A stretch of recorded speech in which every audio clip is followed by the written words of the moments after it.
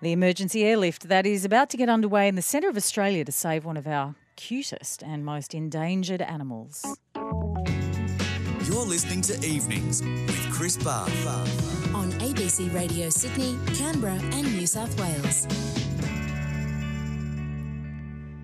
Now, in the centre of Australia, a huge operation, a preparation for an emergency airlift of sorts, is underway to try to save one of the nation's most endangered animals.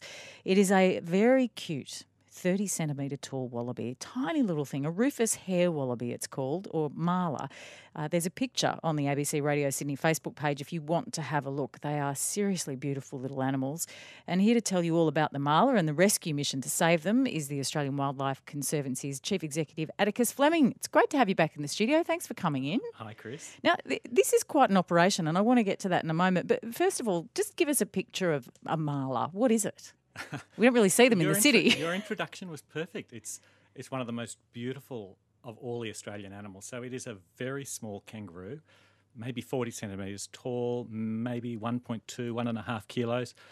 Rufous, soft rufous fur, almost shaggy. I mean, it's a very, very cute animal. But unfortunately, it's also just the right size for a meal for a feral cat. And that's why they're in trouble. Yeah, look, um, they once occupied almost half of the continent. So the early explorers saw a lot of Mala as they as they rode through central and western Australia. But by 100 years ago, the population had crashed, and the last wild population was in the Tanami Desert, and it disappeared in 1991.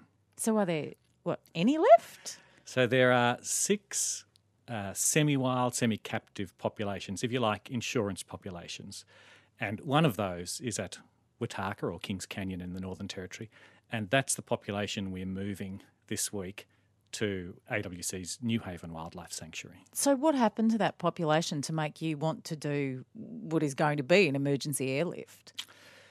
So um, the population at Watarrka was protected from cats because it had a big fence around it, but unfortunately, a, a, a big wildfire went through, and that removes all of the cover. And just to, and in Central Australia, when you get a fire, it can take years for the cover to come back. So they've been exposed to air, native predators, effectively raptors, eagles, and so on. So nature's actually doing its thing. Yeah, except unfortunately, when you've got a really small population, um, those impacts are exacerbated. So this population at Watarrka is now too small to survive. Uh, we'll take it to Newhaven, where we've rapidly built a 150 hectare feral cat free area. And that's the first stage in a much larger feral cat free area at Newhaven. So the the future for the Mala at Newhaven should be very bright. So how far away from Watarrka is Newhaven? Uh, so it's about an hour's flight, which is the most relevant way I can put it, I guess, for the Mala. So this will all happen tomorrow night. Uh, so we've got about a dozen ecologists, Australian Wildlife Conservancy ecologists, and NT Parks and Wildlife staff. They'll be working all night, probably tomorrow night, to capture the Mala at Watarrka. And how many of them will they have to get uh, capture? About 20. Is that all that's left? So there's, the, as I said, there's the six populations around Australia. So there's about 400 Mala on mainland Australia as we speak. Well, that's still appalling that there's only 400 left, and so what? There's 20 in this particular 20 in this pop- population. how do you how do you pick them up? What do you do? Uh, We've got special, very soft-sided traps that um, we'll lay out 75 of those traps to, to catch our 20 Mala. Uh, so basically, the ecologists will work all night, capture the Mala. They do a health check, all sorts of things, and then in daylight they'll be put on a, a Cessna and uh, flown from Watarrka up to Newhaven. And after the sun sets at Newhaven, they'll be released into their new home, which is, as I said, 150 hectares, beautiful habitat for them, uh, feral cat free. So our Warlpiri Rangers have been working very hard over the last couple of weeks to make sure there are no cats and foxes in our new 150 hectare area. Um, and as I said, this is really the first step for these Mala. We're building a, a 10,000 hectare feral cat free area at Newhaven, uh, which is part of the planet's largest feral cat eradication. So while there'll be 20 Mala heading up tomorrow and, and toward the end of the week, uh, we'll supplement that with some other Mala from other populations. Within 12 months, they'll be out in the 10,000 hectare area. That area will then be expanded ultimately, we hope to have about 18,000 Mala at Newhaven. Have you done something like this before?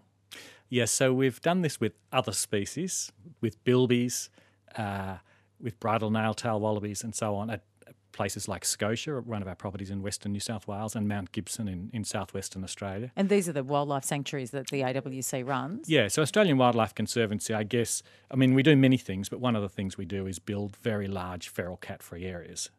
And we know they work. We know if you put these really vulnerable native mammals into a cat free environment, they'll breed like rabbits, fortunately. So they don't have a problem with being relocated? Oh, look, it's always risky Mm. when you're moving highly endangered animals to a new location.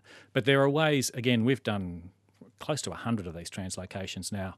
So, uh, with that kind of experience, we know what to expect and, and uh, we know what to do to give us the highest possible chance of making it work. I would imagine this is pretty risky because they're quite small animals and, and they're obviously nocturnal if, you, if you're trapping them at night. Yep. And so then you're whacking them on a Cessna. We, Yeah. I'm pretty sure none of them have ever been on a plane before. Yeah. So, so you know, th- these are the sort of animals that I would imagine would could easily die of fright. H- how do you avoid that? So we have a, we actually have a vet who'll be part of this translocation, and he'll give them any supplements they need to make sure the stress levels stay low.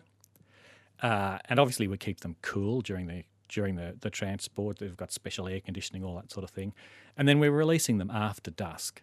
And when we first release them, they get a bit of supplementary food and water and everything else. So we do everything we can to make sure they settle in well to the new home. Because you have got another population of Mali, you just mentioned on one of your other properties. Ha- have you managed to increase that population at all? Yeah, so we've got a population at Scotia. I think we started with 20 or 30, and that's now 60. Uh, so those animals will head to Newhaven over the next 12 months. Um, I mean, the other interesting thing uh, to put this in context is the two closest relatives of the Mala were a hare wallaby that lived in New South Wales and is now extinct, and another hare wallaby uh, which is known from only a single specimen. So there, this family is highly vulnerable, and those other members of the family that are extinct help illustrate just how bad our extinction record is. I mean, there's four million odd cats now across the country, killing millions of native animals every night. If we'd had these big feral predator-free areas 100 odd years ago, we could have stopped a lot of these extinctions. Well, wasn't it? It was only a couple of weeks ago we were rated, what- wasn't it? uh, Some dubious distinction of being very high up on the list of countries losing animals at a rate of knots. Yeah, yeah, you can do various analyses, but we certainly have the worst mammal extinction rate in the world. And and the report you're talking about, I think, said we had the we were second in the world for loss of biodiversity in the last few decades. Yeah, which is not really an honour that we want. No, no, it's terrible. And you know, cats are at the top of the list for why that happens. So, how do you keep them out? What's involved in building a feral proof area, and how do you build an area as big as what you've constructed very quickly at Newhaven that quickly? Um, Australian Wildlife Conservancy has some very practical people on staff who are able, at the drop of a hat, to put up a six foot high fence with a couple of electric wires and special skirts and overhangs. And uh, so we've built this is nearly five kilometres of fence uh, in a very short period of time.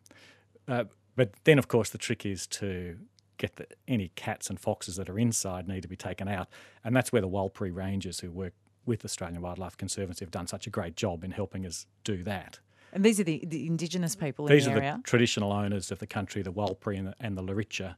Uh, so, I mean, they're a big part of this pr- program and will be for years to come. I was reading, uh, Atticus Fleming is here, by the way. He's the uh, Chief Executive of the Australian Wildlife Conservancy, and we're talking about this airlift that's about to occur in the centre of Australia. I was reading that the Mala have particular significance for the traditional owners in that part of part of the country. Well, why does this tiny little animal mean something to them? Well, the the birthplace, if you like, the the dreaming site for the Mala, is on the southern boundary of Newhaven. So, as I understand it, the story is that the Mala were, were born at that site, and some moved south toward Uluru, and some moved north into the Tanami. So, for this particular location, I think they're especially important. And I think it's, I mean, it's amazing to think that the Warlpiri who are working with us now, the Warlpiri and the, and the are really helping to um, return this landscape to what it was a hundred or a couple of hundred years ago by bringing back these animals that have disappeared as a result of largely feral cats and foxes. How soon will you be able to try to breed up the population, assuming this airlift that starts tomorrow goes well?